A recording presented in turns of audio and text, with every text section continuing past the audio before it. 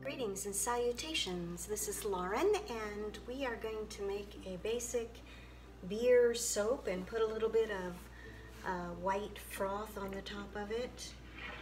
And this is my lye solution. I have 100% beer in there and lye crystals. So we're just gonna go through this process and I hope you enjoy this video. My lye water is at about 95 degrees and my oils are at 85 degrees. So there's a 10 degree difference and that's in Fahrenheit. I'm just gonna mix this together. I'm going to use a fragrance called Sparkling Ginger by Nature's Oils through Bulk Apothecary. The last beer soap that I made was a coconut verbena. And this one is going to have the sparkling ginger in it. Almost like a ginger ale.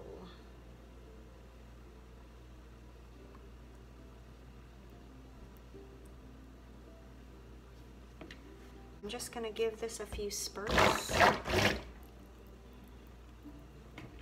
I like the dark color here. This is called Bodhi. Um, I'll put it on the screen because I can't remember.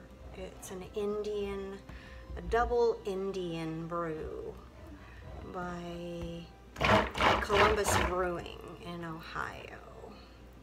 This is getting thick. It is definitely ready to split off.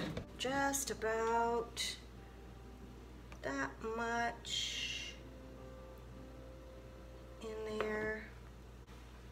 I'm going to put my fragrance oil that's mixed with kaolin clay in here.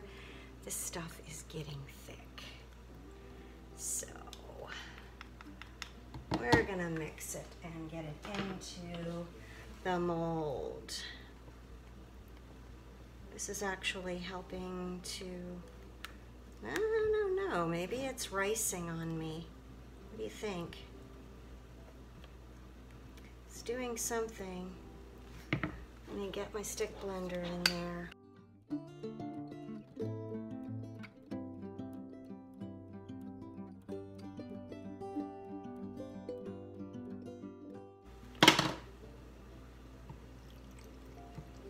I'm gonna get some titanium dioxide in there.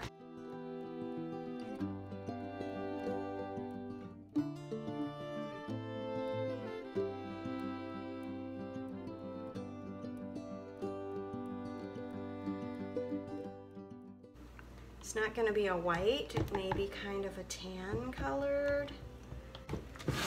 Let's get it into the mold. I'm just going to glob it in there.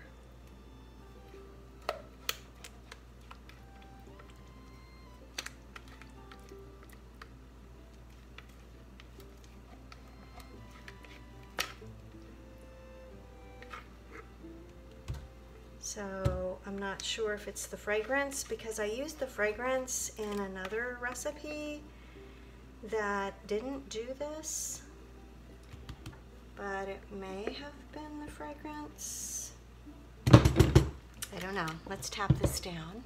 And then we're going to just kind of move this part over. a little bit. And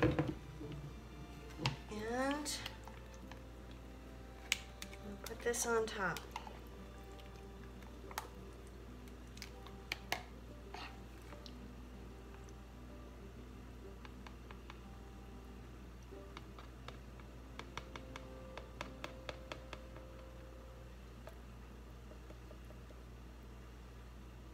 I'd like to mound this up a little bit, so I'm gonna tap this down. I might just put a swirl through there. How's that? Let's go. Let's go for it.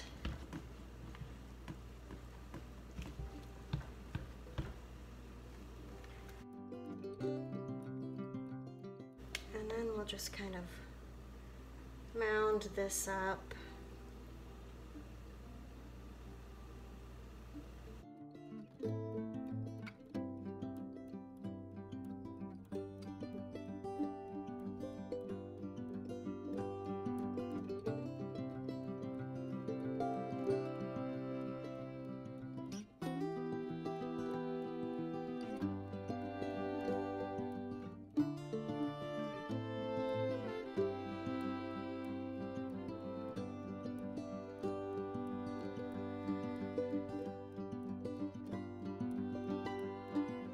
There we go.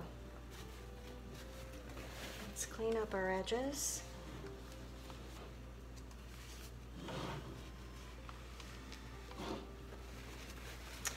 And we will come back for the cut. Here is our beer soap after 24 hours. I've got a hole right there that I'm gonna have to work with. We're going to go ahead and cut this. Just take a slice off the end here.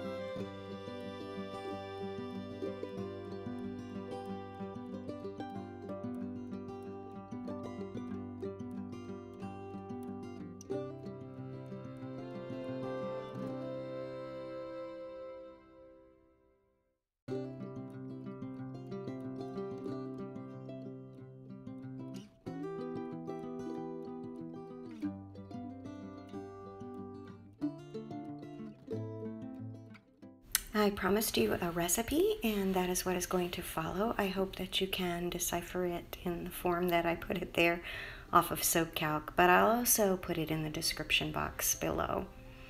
Thank you so much for watching, and I hope that you try a beer soap. They are a lot of fun to make. Have a great day, and God bless you.